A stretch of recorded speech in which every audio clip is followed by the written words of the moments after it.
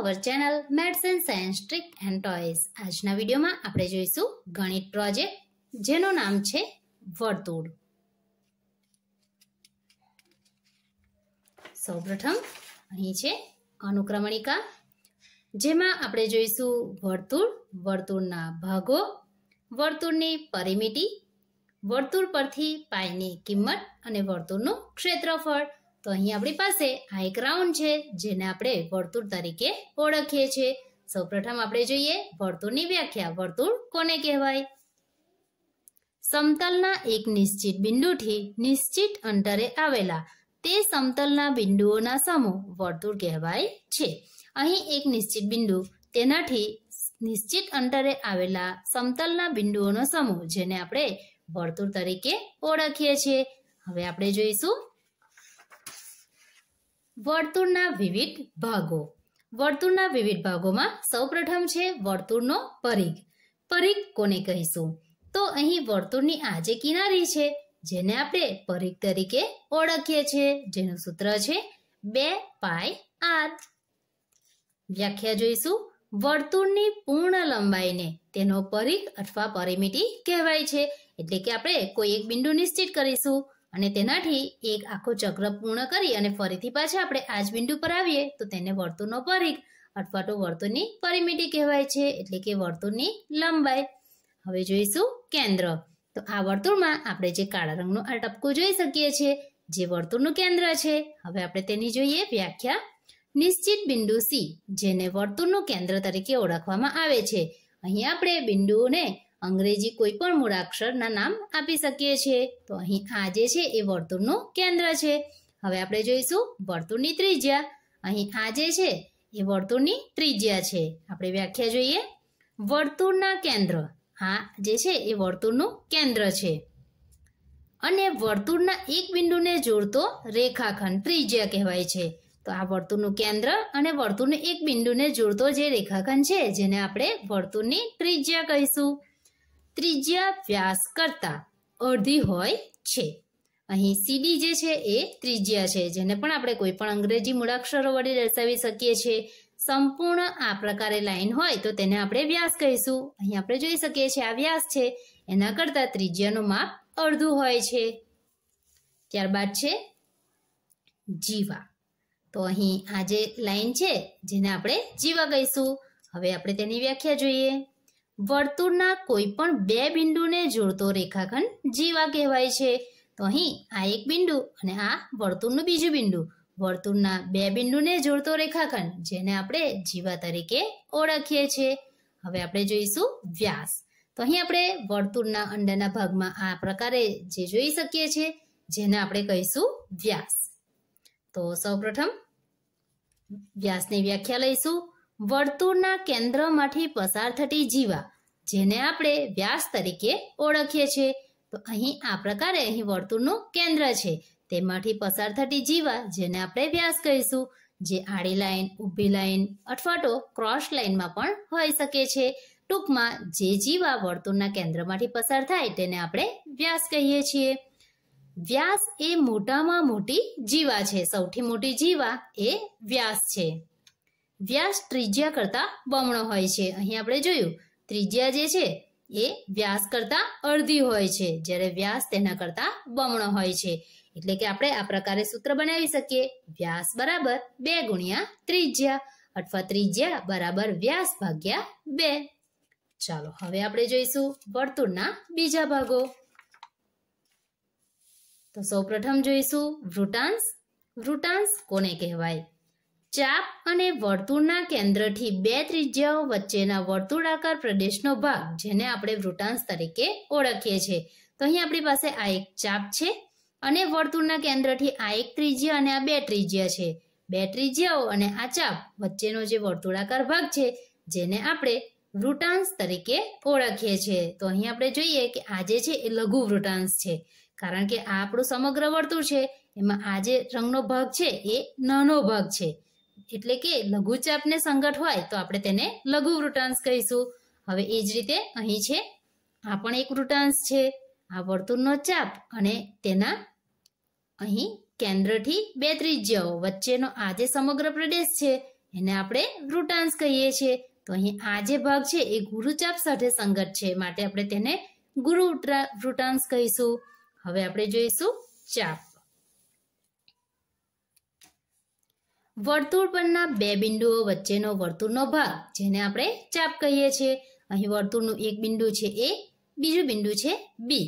તેની વચ્ચેનો આ જે ભાગ છે, જેને આપણે ચાપ કહીશું. એ જ પ્રકારે અહીં વર્તુળનું એક બિંદુ છે સી, બીજું બિંદુ છે ડી. તો અહીં આ બીજો જે ચાપ છે, એને પણ આપણે આ પ્રકારનો ભાગ, જેને પણ આપણે ચાપ તરીકે ઓળખીએ છીએ. તો અહીં આપણે જોઈ શકીએ છીએ આ ચાપ નાનો છે, માટે તેને આપણે લઘુ ચાપ કહીશું.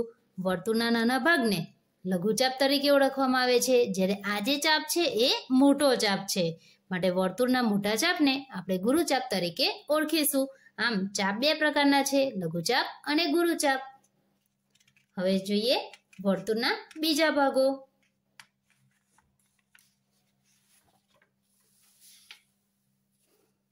અહીં છે વૃટખંડ. તો સૌપ્રથમ આપણે તેની વ્યાખ્યા જોઈશું.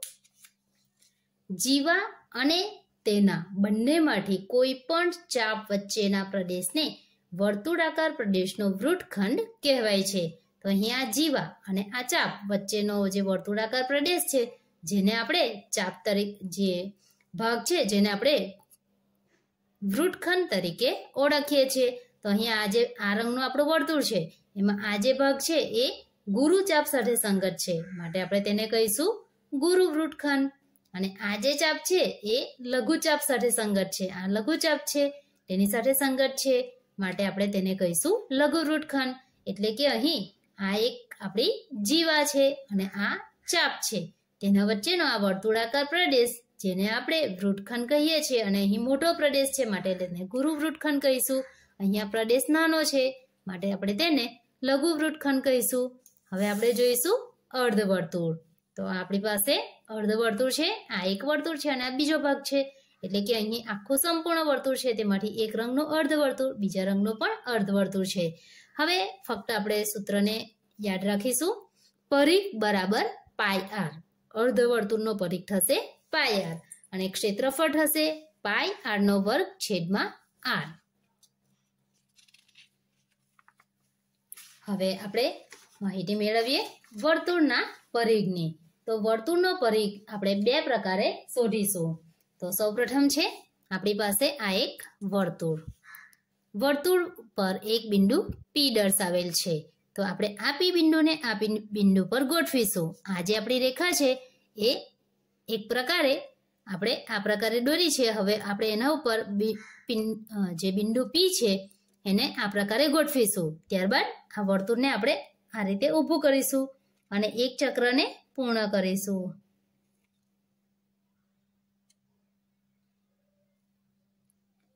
આ પ્રકારે આપણે ફરીથી આખું જે વર્તુળ છે એને ફેરવીને ફરીથી પાછા આપણે પી બિંદુ પર લાવીશું.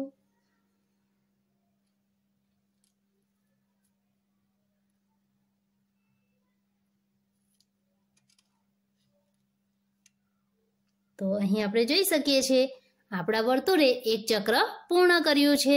માટે આ જે માપ છે, જેને આપણે વર્તુળના પરિઘ અથવા તો વર્તુળની પરિમિતિ તરીકે ઓળખીએ છીએ. ચાલો હવે આપણે આ રેખાખંડની લંબાઈ માપીશું. તો અહીં આપણે જોઈ શકીએ છીએ, આ રેખાખંડની લંબાઈ અઢાર સેન્ટીમીટર છે. માટે આ વર્તુળ જે છે આપણું, આ વર્તુળનો પરિઘ થશે અઢાર સેન્ટીમીટર. હવે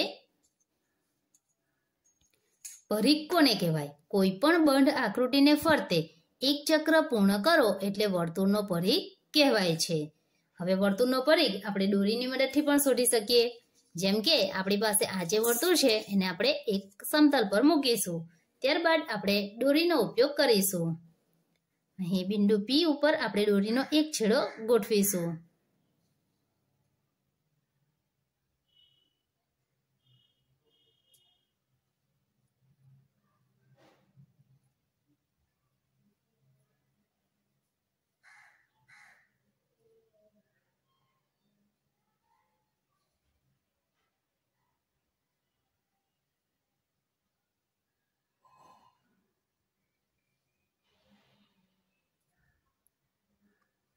તો અહીં આ જે માપ છે, જેને આપણે માપપટ્ટીની મદદથી માપીશું, તો તેનું માપ પણ આપણને અઢાર સેન્ટીમીટર જ જોવા મળે છે. તો આપણે આ પ્રકારે આ પ્રવૃત્તિ દ્વારા બે રીતે વર્તુળનો પરિઘ અથવા તો વર્તુળની પરિમિતિ શોધી શકીએ છીએ. એક આ રેખાખંડની મદદથી અને બીજું આ છે દોરીની મદદથી. વર્તુળનો પરિઘ અથવા પરિમિતિ આપણી મળે છે અઢાર સેન્ટીમીટર. પાય બરાબર પરિઘના છેદમાં વ્યાસ. પાય બરાબર પરિઘ છેદમાં બે ગુણ્યા ત્રિજ્યા. માટે બે ગુણ્યા પાય ગુણ્યા ત્રિજ્યા. આ જે બે ગુણ્યા ત્રિજ્યા છે, તેને આપણે ઉપરની તરફ લઈ જઈશું. અહીં ભાગાકારમાં છે, એટલે આ તરફ ગુણાકારમાં જશે. બરાબર થશે પરિઘ. માટે પરિઘનું આપણને સૂત્ર મળે છે બે પાય આર. જ્યાં આર બરાબર આપણને મળે છે વર્તુળની ત્રિજ્યા. હવે આપણે જોઈશું પાઈની કિંમત. તો પાઈની કિંમત એ માટે સૌપ્રથમ આપણે આ એક વર્તુળ લીધું છે. આ વર્તુળ જે છે, એની સૌપ્રથમ આપણે પરિઘ અથવા તો પરિમિતિ શોધીશું. તો આપણે અહીં એક બિંદુથી શરૂઆત કરીશું.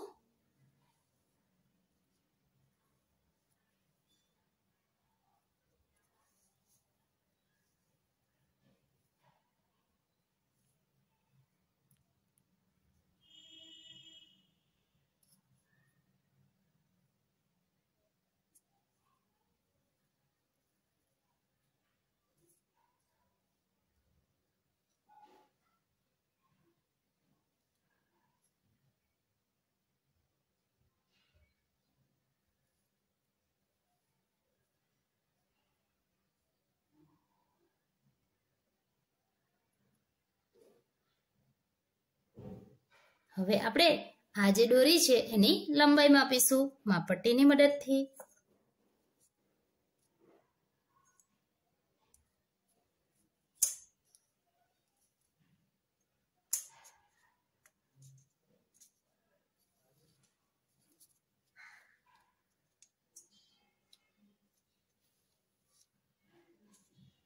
તો અહીં આપણે આ દોરીની લંબાઈ જોઈ શકીએ છીએ. પચીસ પોઈન્ટ એક જેટલી આપણને મળે છે. માટે આપણો પરીખ થશે પચીસ પોઈન્ટ એક. અહીં સૂત્ર છે પાઈ બરાબર પરીખ ભાગ્યા વ્યાસ. તો આપણને પરીખ મળે છે પચીસ પોઈન્ટ એક. હવે આપણે તેનો વ્યાસ માપીશું. તો વ્યાસ માપવા માટે આપણે સીધો જ માપપટ્ટીનો ઉપયોગ કરીએ. તો અહીં આપણે જોઈ શકીએ છીએ આપણને વ્યાસ મળે છે આઠ સેન્ટીમીટર. માટે વ્યાસ મૂકીશું આઠ સેન્ટીમીટર. પચીસ પોઈન્ટ એક ભાગ્યા આઠ કરીશું તો આપણને જવાબ મળે છે ત્રણ પોઈન્ટ ચૌદ. એટલે કે પાઈની કિંમત છે ત્રણ પોઈન્ટ ચૌદ. અથવા તો પાયની બીજી કિંમત છે બાવીસ સપ્ટમાંશ તો આ પ્રકારે આ પ્રવૃત્તિ દ્વારા આપણે ખૂબ જ સરળતાથી પાઈની કિંમત શોધી શકીએ છીએ. ફરીથી એકવાર જોઈ લઈએ. સૌપ્રથમ આપણે વર્તુળનો પરિઘ શોધીશું. જે અહીં અંશમાં લખીશું. ત્યારબાદ વર્તુળનો વ્યાસ શોધીશું. જે છેદમાં લખીશું. અને અહીંયા આપણે ભાગાકાર કરીશું એટલે પાયની કિંમત આપણને ત્રણ પોઈન્ટ ચૌદ મળી રહેશે. ત્યારબાદ છે વર્તુળનું ક્ષેત્રફળ. તો અહીં આપણી પાસે આ એક વર્તુળ છે. આ વર્તુળનું આપણે ક્ષેત્રફળ શોધવા માટે સૌપ્રથમ આપણે વર્તુળના સોળ ભાગ કરીશું. આપણને ખબર છે કે વર્તુળનો પરીખ છે બે પાય આર તો અહીં સૌપ્રથમ આપણે વર્તુળના આ જે વર્તુળ છે એના જ કુલ સોળ ભાગ કર્યા છે. હવે અહીં આ જે અહીંથી આ માપ છે, એટલે કે વર્તુળનું કેન્દ્ર અને વર્તુળનું એક બિંદુ, જેને આપણે ત્રિજ્યા આર તરીકે ઓળખીએ છીએ. અહીં વર્તુળનો પરિઘ ટુ પાઈ આર છે. તો અહીં આ જે છે, એના સોળ ભાગને આપણે આ રીતે કટિંગ કર્યા છે. એક ભાગને ફરીથી પાછા બે ભાગમાં કટિંગ કરી અડધો ભાગ આ તરફ અને અડધો ભાગ આ તરફ લગાવ્યો છે. તો અહીં આપણે જોઈ શકીએ છીએ કે આપણને લંબચોરસ જેવો આકાર દેખાય છે. જો હજી આના એકદમ નાના નાના એવા ભાગ કરવામાં આવે તો આપણે સંપૂર્ણપણે લંબચોરસ જોઈ શકીએ છીએ. તો અહીં આ એક લંબચોરસ આકાર છે, જેમાં તેની પહોળાઈ આર છે. પહોળાઈ એટલે કે આ આપણી ત્રિજ્યા આર છે. અને તેની લંબાઈ છે પાય આર કારણ કે અહીં બે પાય આર છે, પરંતુ અડધો ભાગ ઉપરની તરફ ગોઠવાયો છે અને અડધો ભાગ નીચેની તરફ ગોઠવાયો છે. માટે અહીં થશે આની લંબાઈ પાય આર આની પણ થશે લંબાઈ પાય આર અથવા તો તમે બે પાય આર ભાગ્યા બે પણ લખી શકો છો. તો અહીં આપણે જોઈ શકીએ છીએ, વર્તુળનું ક્ષેત્રફળ બરાબર લંબચોરસનું ક્ષેત્રફળ. આ જે વર્તુળનું ક્ષેત્રફળ છે, એના બરાબર આ લંબચોરસનું ક્ષેત્રફળ થશે, કારણ કે બંને જે વર્તુળ જ છે માટે. માટે વર્તુળનું ક્ષેત્રફળ બરાબર લંબચોરસનું ક્ષેત્રફળ. લંબચોરસનું ક્ષેત્રફળ શોધવાનું સૂત્ર છે, લંબાઈ ગુણ્યા પહોળાઈ. માટે અહીં આપણે લખીશું, લંબાઈ ગુણ્યા પહોળાઈ. બરાબર. લંબાઈ આપણને અહીં મળે છે એક દ્વિતીયાંશ ગુણ્યા બે પાય આર. અથવા તો તમે પાય આર પણ લખી શકો. તો આપણે અહીં એક દ્વિતીયાંશ ગુણ્યા બે પાય આર અને એની પહોળાઈ છે આર. માટે અહીં આપણે લખીશું આર. માટે આપણને જવાબ મળે છે પાય આરનો વર્ગ, જે વર્તુળનું ક્ષેત્રફળ છે. જો મિત્રો તમને આ પ્રકારના પ્રોજેક્ટ ગમતા હોય તો વિડીયોને લાઈક કરશો, ચેનલને સબસ્ક્રાઇબ કરશો, બાજુમાં રહેલ બેલ આઇકોન પર ક્લિક કરશો. જેથી નવા વિડીયોની તમને નોટિફિકેશન ખૂબ જ ઝડપથી મળી રહે. અગાઉના વિડીયોમાં આપણે જોઈશું પરિભ્રમણીય સમિતિની પ્રોજેક્ટ ચાર્ટ